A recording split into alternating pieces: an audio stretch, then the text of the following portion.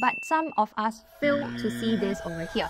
Now this question seems very straightforward. Some of you may think, oh, I need 120 ribbons, each measuring 7 centimeters, so I will need a total of 120 times 7 cm and that will be 840 cm of ribbon that is needed. And since the store is selling each roll of ribbon at 40 centimeters, you will think to take 840 divided by 40 cm, and that gives us 21 rolls of ribbon. Alright, so done, that's it. But some of us fail to see mm. this over here. This can only be done if we have a long giant ribbon that is 840 cm long, then this will work. However, we have to consider the practicality of this question. You see that here the ribbons are actually sold in rolls, and each roll measures 40 centimeters long.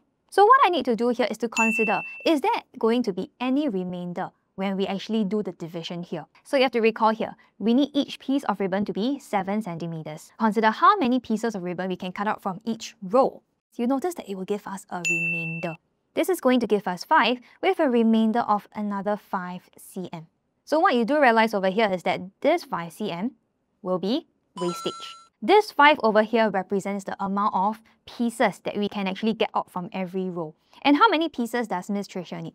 She needs a total of 120 pieces of ribbon. So what we are supposed to do for this is to take 120 divided by 5. And that is going to give us 24 rows of ribbon.